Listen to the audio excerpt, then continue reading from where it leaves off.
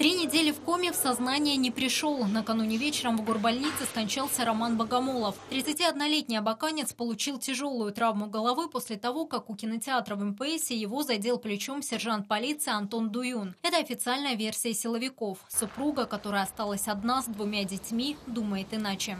Это был удар в голову, слетела шапка. Есть свидетели, которые это подтвердят. Свидетели этой драки показания дают, но их данные расходятся. Одни говорят, полицейский специально ударил абаканца. Другие утверждают, нет, просто хотел оттолкнуть пьяного мужчину. Тем не менее, Антон Дуюн – главный подозреваемый в уголовном деле. Из органов парня уволили. Как сегодня стало известно, его начальник наказан. Непосредственный руководитель бывшего сержанта полиции привлечен к дисциплинарной ответственности. Ему объявлен строгий выговор с занесением в личное дело. Антон Дуюн не арестован под подпиской о невыезде. С 15 января делом экс-полицейского занимается Следственный комитет. Пока Антон Дуюн проходит по статье причинения тяжкого вреда здоровью по неосторожности. Но теперь, после смерти потерпевшего, скорее всего, статья станет другой.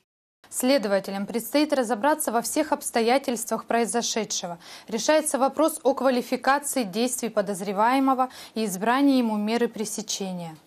Совпадение или нет, но сегодня министр внутренних дел республики Илья Ольховский отменил пресс-конференцию по итогам работы в 2013 году. На нее были приглашены все средства массовой информации республики. Возможно, главный полицейский Хакасии таким образом решил избежать неудобных вопросов. Елена Васютина, Светлана Панина. Новости 7 телеканал.